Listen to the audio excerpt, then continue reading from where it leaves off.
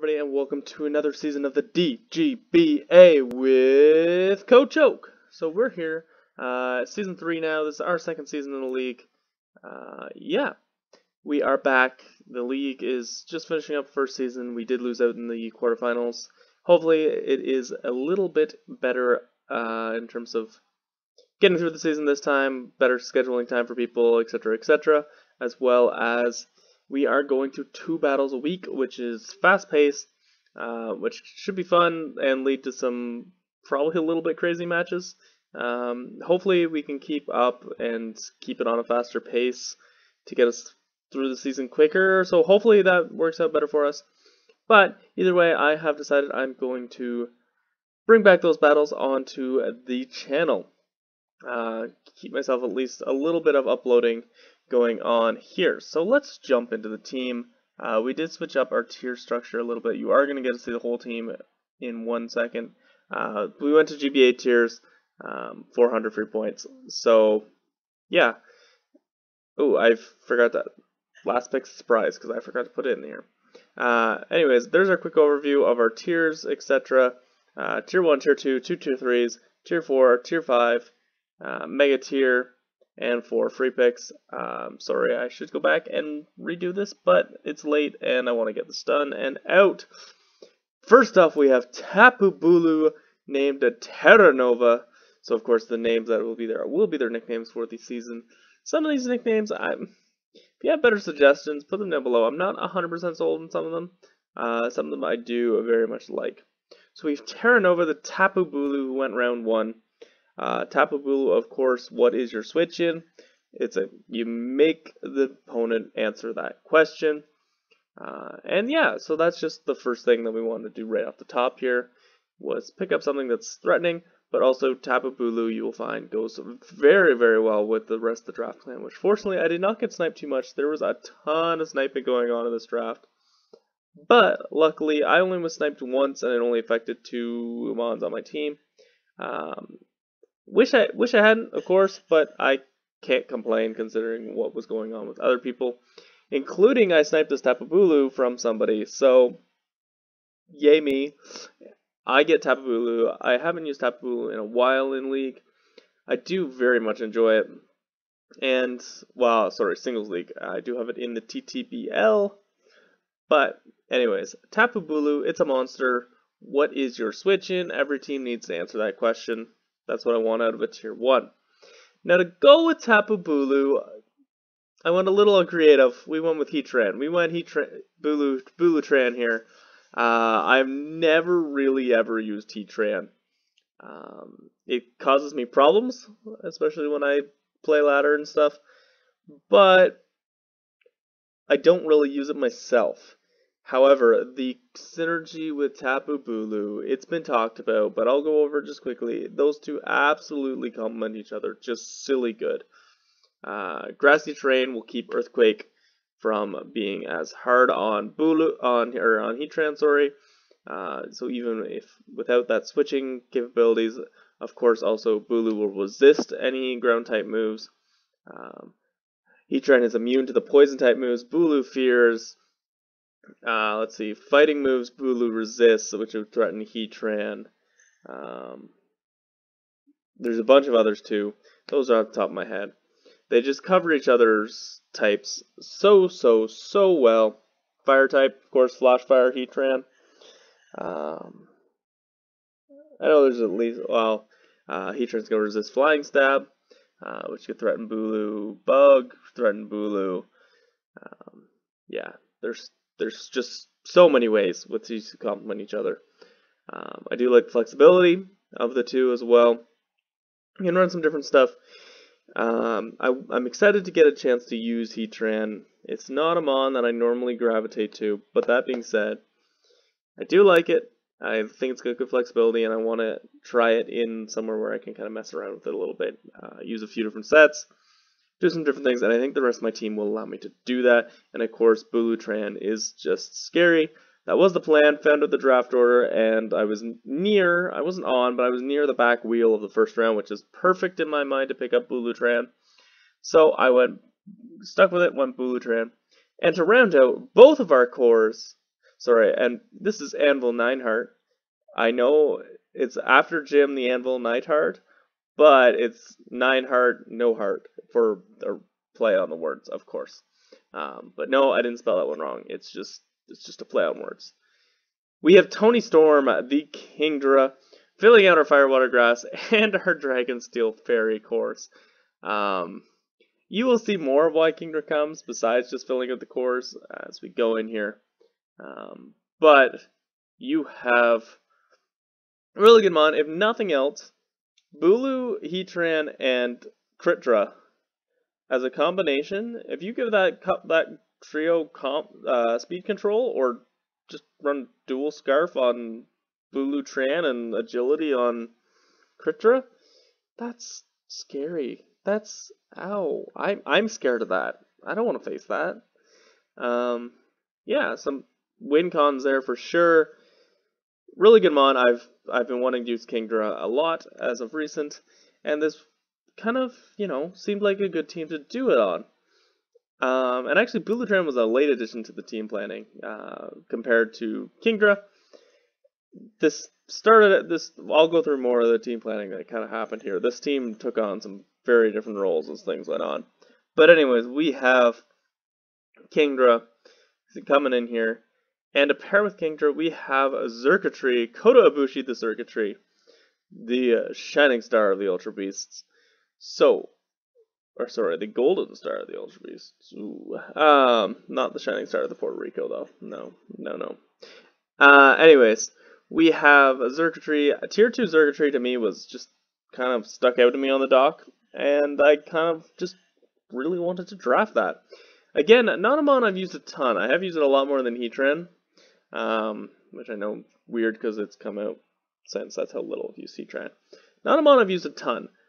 But again, it's another win con. Uh, sets itself up with spoilers. Z moves. This is what our Z Crystal Captain.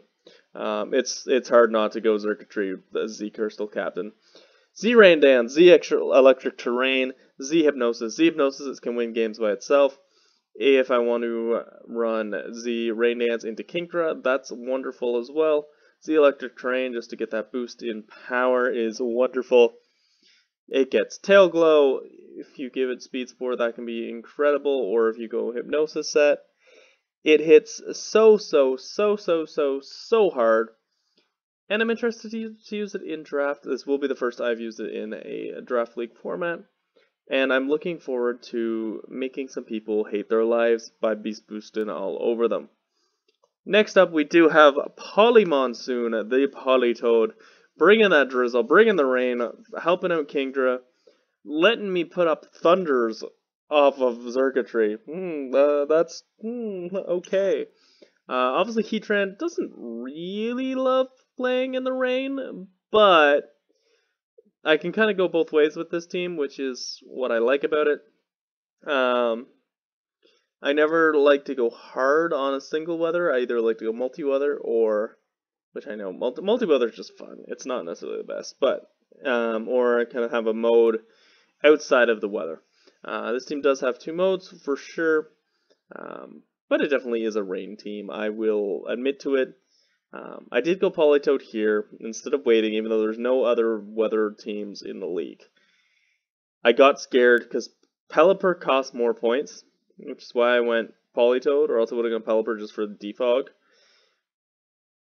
But if I at this point I have used my two tier ones and two uh and or sorry my tier one tier two a tier one and tier two in free points and I do not have enough points to grab Pelipper if Politoed goes. There was one other team that scared me a little bit. They could have gone Rain. So I, I went with Politoed. That did cost me Cofagrigus, which was kind of my next Mon I wanted. So that was unfortunate. It did change things. I didn't want Cofagrigus. Snorlax is my next two. However, we do pick up really. Uh, I should talk more about Politoed. So Politoed obviously drizzles. Uh, very good eject button user, to be honest. Um, it can do some, you know, annoying things, Encore, Perish Trap. Um, it's fairly bulky, can lay Toxics. It can do some mean things. Um, and I'm hoping to kind of. I haven't really used Politoed mu much. Uh, I think it's adorable, of course, um, but it's not something I ever really use because I always loved Poliwrath so much more. Uh, and draft, I didn't start draft till Gen 7. Pelipper tends to be where I go just for U-turn and defog. Uh, I tend to my more flexibility, but Politoed was cheaper, which is not always the case. So I went with Politoed because it let me get that Xurkitree and let me get Bulutran. And yeah, so that just was why we went Politoed here, and I was just too scared to lose it. Um, if I did lose it, I would have to go with like a Murkrow Lemieux Rain team, which can work, but I, I want a little more consistency in getting that drizzle up. Um, for Kingdra, and for Xurkitree as well. And with the Mega we are going to get, which I'm sure you can figure out which Mega it is, we were able to wait on our Mega when you draft Rain, because if no one else drafts Rain, no one else is really taking Mega Swampert. So, you know, we'll get there, but we now have Nia Jax, the Miltank. Um, losing Cofagrigus, I want another defensive wall in, in Tier 4. I went with Miltank. Uh, good mon, uh, I've used it I, I like to take him when it's tier 5. It kind of goes back and forth between tier 4 tier 5. But I do think it's very good mon. Does get heal bell. Uh, I don't use heal bell a lot, but it does have reliable recovery. It is pretty bulky. It's got great coverage. It is actually fairly fast. In sadness, though, this is my fastest Mon, naturally. I have lots of ways to boost my speed with Mons, but Miltank is my fastest Mon. We will see how that goes. This could go very, very badly. But I still like it. I still like it. When your wall is your fastest mon, mm, it's a bit scary. But Miltank's super bulky, of course, does all kinds of things um, that causes problems.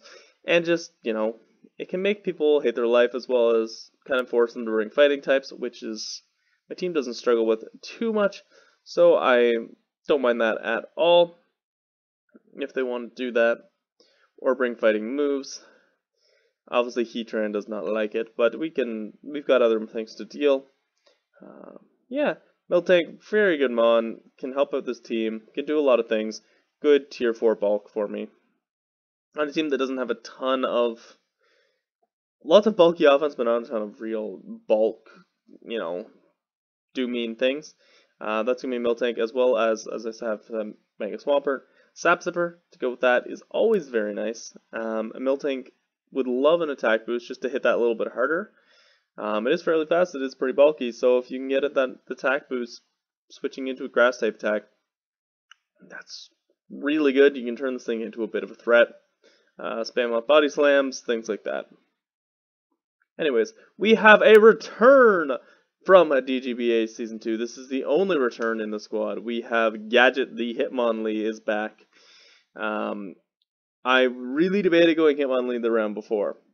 I waited because there was all three Hitmons still on the board. Hitmonlee was the one I wanted, but I would have been happy with any of them. And if I was really in a pinch, I would have gone Kamala and probably dropped Miltank after. Um, but luckily it didn't come to that. Pick before us, Hitmontop went. Hitmonlee went here, then one pick, then Hitmonchan. All the Hitmons, that run of Hitmons did definitely occur. I predicted correctly where it would be. Luckily, I got the one I wanted in Hitmonlee. I did. I wanted the Unburden. Um, Hitmontop is bulkier, but I wanted the Unburden to help out my speed. Um, set up another Mon that can set up its speed and go. Even though it's not naturally super fast, it can get very fast and very helpful. Uh, great rapid spinner, bulky on the special side. Um, between it and Miltank, you've got really bulky defense, really bulky special. People forget that Hitmonlee is actually very bulky on the special side, especially with Assault Vest, and it's a very good Assault Vest user. Um, if you want to run Reckless Assault Vest, it's good, and you can put a lot of bulk, uh, a lot of EVs into bulk, and still with Reckless hit fairly hard with that high jump kick. So, great Mon. Love this Mon. Good old Go-Go Gadget. Get me a win. Next up, we have Tiny Dancer. This is the other kind of switch up that occurred with the um, switch to the uh, Miltank over Cofagrigus Snorlax. We went with Alola Marowak and Miltank. Not quite as good, but still a very solid combination. Uh, this is Tiny Dancer Marowak. Lightning Rod obviously is nice on a rain team. I'm not, because I don't have Pelipper, it's not as big a thing, and I do have Ground Weakness, but it's good to have. Will resist grass types as well. Uh, good fire type to put it on the rain side of things. Heatran not as good on that side, so I didn't mind that. Wanted the ghost typing was the main one. Hits hard. Again, if I can get this thing speed control, it can take over matches. Uh, Rockhead also very good for it with Flare Blitz when you want to run that. But Lightning Rod definitely is a attraction here, um, as well as the Ghost typing. Another Stealth Rocker as well. So both my fire types are Stealth Rockers as well. So that's kind of interesting to note.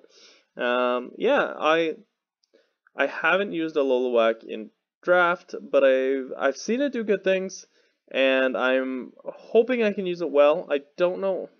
It's one of those I'm not super sold on, but I think it was the best based on what to do. This is kind of where I wish I didn't get sniped, but I will take it and I will run with it, and I will use Tiny Dancer to her fullest potential. We now drop into tier 5. We have Bonehearted, the Vullaby we are picking up. Don't think I've ever used Vullaby ever. So you're seeing a trend. This is kind of a draft I haven't really used. But I needed more clearing. Because right now I just have Hitmonlee. Uh, so I wanted to spend on a Defogger. I didn't have really the best clearing. Often rain teams, you don't. My team's kind of setupy. Didn't really need that much clearing, but you do want it for those matchups. Um, and just to deter if you don't have it, you're in trouble. They'll be pretty bulky. Uh, good typing in the dark flying. Um, Eviolite makes this thing very good. Um, obviously, bone-hearted, referring to the heart in the bone diaper there. But Vullaby, cool little mon. Uh, I'm going to be interested to see how often I bring it, how often I can find uses for it. I'm going to have to dive a little more into its moveset and uh, kind of do some calcs of its bulk, see what happens. But I think it fit the team very well, and I'm excited to bring it in. The next pick is going to round out the team very nicely and bring a lot of things that I did not have. Not in itself a great mon, but it fits this team really, really well, and it's something I've kind of wanted to use just because I, you know, memories of Johto. We got Ecker Creep here. Um, the Ariados, I used to love Ariados. It used to be one of my favorite mods back in Gen 2. Um, not a huge fan of Gen 2, as I've mentioned before, but when I was, you know, when Gen 2 was the most recent gen, and that was kind of when I started into Mons, um, this was one of my favorite Mons. I would always start start my game at night to get this a Noctowl because they were both really cool and I have taken Ariadoses all the way to the to to the Hall of Champions. So I'm hoping to take this one all the way to the DGBA Season Three Finals. Uh, what really is the help here is Speed Sport, Sticky Web, Toxic Spikes. There you go. And you know, String Shot. It's got it's got a few other things. Maybe I can get a Fell Stinger up and you know, some point, maybe? I don't know. But basically, it's Sticky Webs, Toxic Spikes, which I really wanted both of those things. Uh, Sash lead a lot of the time, most likely. That's, you know, just, I don't think I'm spoiling anything for anyone in the league when you when I say that's what it does. Um, Ecker Creep is going to bring those webs, those T-spikes, and really help the team out the few times it's brought uh, assuming I can do a good job of keeping those things on the field, which is one of the reasons why I want, really wanted that ghost type and grabbed Alola Marowak, as I really wanted a spin blocker. Um, just in case there's a week, you know, that they're clearing, that they, their defogger, if they have one, or it's got a bad matchup, and I can use a Alola to spin block for, I don't know, Dhelmise maybe. I don't know, just saying things out loud. I haven't looked that closely at the other teams. Completed drafts. But yeah, so Ariados running out our tier 5s, and our last pick of the draft. as I mentioned, we were able to wait, take our Mega, go get Batista, the Mega Swampert. Just another rain spam abuser. Um, ground type helps his team out. Didn't have a ground type. Obviously, I will have to be careful about Earthquake and Bulu, but still, it's a very good mon. Uh, I do definitely play the four times weakness game a little bit with this team, with Bulutran and um, Swampert. But as I said, I can kind of cover all of those in certain ways. Uh, even those three together help each other out a lot. Um, but yeah, so we will see how this team goes. It's kind of a little bit um,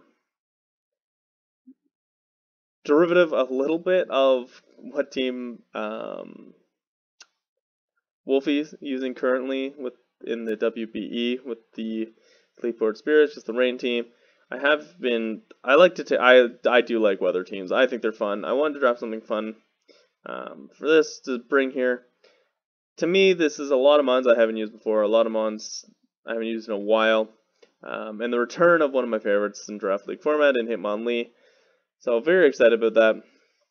I'm very much looking forward to this season. Very much looking forward to using this team, and I think it's going to be an interesting one. I've I've got a I've got a pretty good feeling that I'm going to fail spectacularly with this team, but I think I'll go down having fun.